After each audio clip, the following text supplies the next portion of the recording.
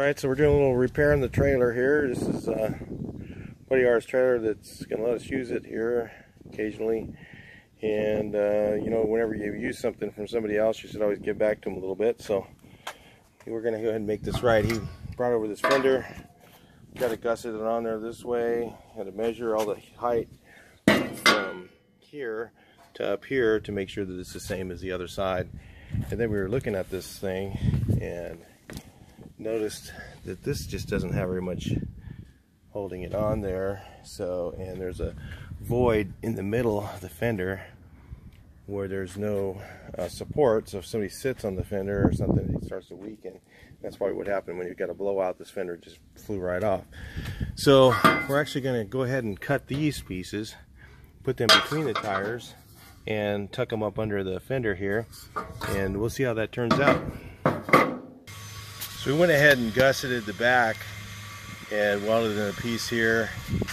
Got this one tacked in place, gonna go ahead and weld that in too. Uh, we definitely don't wanna, you know these trailers get blowouts and uh, we don't wanna have that happen again, blow a tire off, blow the, cause you know, you, you neglect your trailer, that's usually what happens.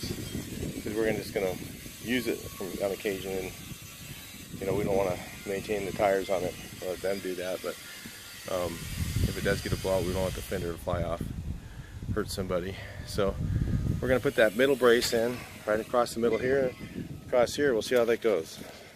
We went ahead and added the spare tire holder here, and uh, got these gussets, it's all welded on, of course, fender's all on there, man, now you can just sit right down,